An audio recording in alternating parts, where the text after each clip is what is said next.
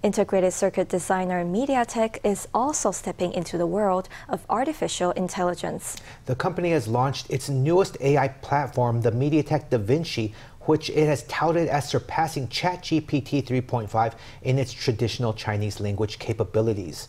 The company says users can interact verbally with the platform without giving explicit instructions, and the system will understand what they want. 进入房间，我们只要口语化的说，呃，好热，我们就可以做相关 sensor 的一个搭配。Complain about the heat to turn on a fan and the AC unit, and voila, the temperature is brought down. Unlike conventional smart devices that need explicit instructions, MediaTek's generative AI service platform DaVinci can provide assistance in a conversational manner. The company hopes the platform will become the smart assistant that best understands Taiwanese people. 呃，大型的 a language model called BreeXe, which is based on 4 to 5 million parameters, can be integrated into the MediaTek DaVinci. Its performance with traditional Chinese writing has surpassed ChatGPT 3.5 in our evaluations and in evaluations conducted by school teachers.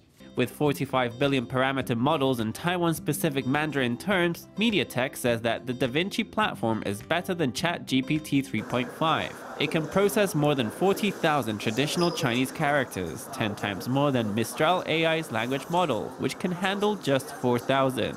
DaVinci has more than 100,000 dialogue entries from MediaTek as its foundation, allowing it to provide custom services for home and vehicle use. 如果你没有就是按时打卡的话，它会这里有标红点。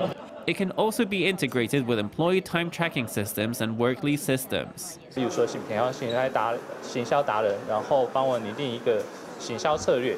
Everything can be handled by DaVinci, from marketing strategies and collecting news pieces to booking train tickets.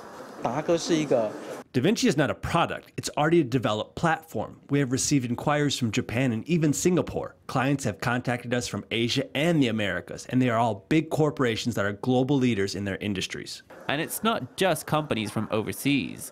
In Taiwan, more than 20 high-tech companies, over 10 consumer brands and financial corporations, as well as companies in traditional industries are working together, allowing MediaTek to expand its ecosystem and make AI applications more widespread.